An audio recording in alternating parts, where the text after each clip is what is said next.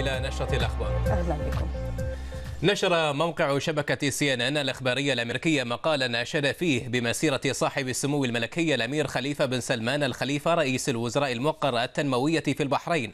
وما حققته هذه المسيرة من نجاحات على المستويات الاقتصادية والاجتماعية والسياسية. وأشار المقال إلى أن صاحب السمو الملكي رئيس الوزراء ولد قائدا ملهما ونشأ بجانب والده في الاجتماعات الهامة وكان يعمل من أجل تأمين حق كل مواطن بغض النظر عن العرق أو الدين في التعليم المجاني والمسكن والرعاية والصحة.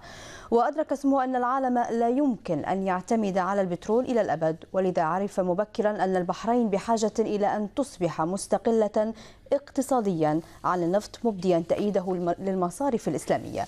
فدعا البنوك لإنشاء فروعه على أرض البحرين وعمل على توسيع قطاع الضيافة والفندقة من خلال دعوة مستثمرين أجانب لبناء الفنادق.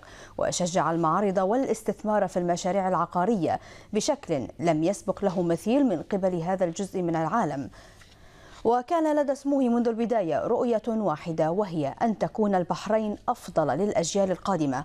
وعمل سموه على توفير المرافق الطبية المتخصصة داخل البلاد حتى يضمن لمواطنيه بل للمقيمين تلقي العلاج وهم محاطون بأحبائهم وينعمون بكامل الراحة في وطنهم.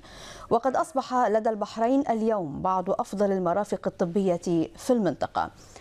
وأشار المقال إلى أن سمو رئيس الوزراء كان مصدر إلهام للسياسة الخارجية لمملكة البحرين فكان أول زعيم عربي يدرك أهمية منطقة جنوب شرق آسيا. فطور وحافظ على علاقات جيدة مع اليابان وكوريا وماليزيا وسنغافورة وتايلاند والفلبين. من منطلق تأييد الاحترام المتبادل والتعاون والخبرة مع دول العالم الأخرى. وصرح عدد من زعماء العالم أن لقاء هذا الرجل والطريقة التي يتحدث بها والمعلومات المتوافرة لديه والصدق والرؤية التي تلمسها فيه تشجع على إقامة علاقات طويلة الأجل مع حكومة البحرين. وتناول المقال عددا من القصص والمواقف التي أكدت عزم سمو رئيس الوزراء في مواجهة كافة التحديات للبحرين لبحرين أفضل خصوصا إبان الأزمة المؤسفة التي مرت بالبلاد في عام 2011 حيث كان لزيارة سموه للمواقع العامة دور بارز في تهدئة شعب البحرين.